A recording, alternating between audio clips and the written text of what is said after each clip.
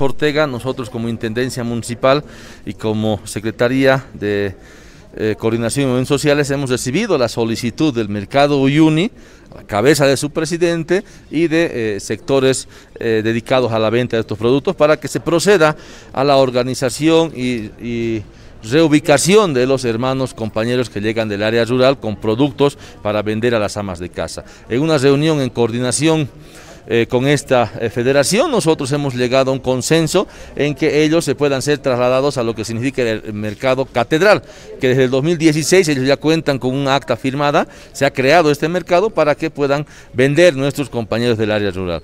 Como podemos observar, en el sector de Hermanos Ortega está totalmente expedito, calle Arce, Santa Cruz, Colquechaca, Asunción, eh, ahora las personas, los peatones pueden transitar con total normalidad, los vehículos de igual manera y bueno, nuestros compañeros del área rural que venden sus productos del productor al consumidor se encuentran en el mercado catedral.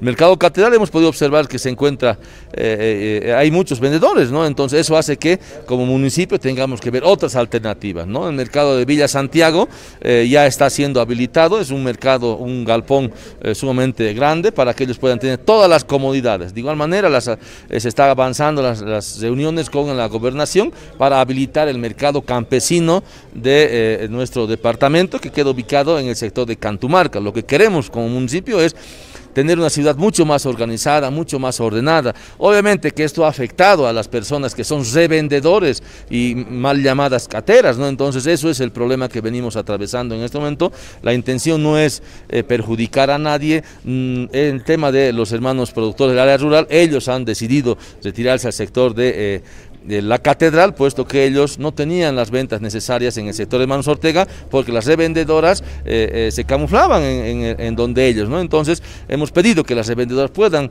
ocupar sus mercados, sus puestos en sus mercados que ellos tienen. Ahora, ¿la catedral ha colapsado, capitán? Bueno, eh, nosotros como intendencia nos encontramos en el lugar pudiendo dar comodidades, se está abriendo una puerta, de, una puerta más para el ingreso.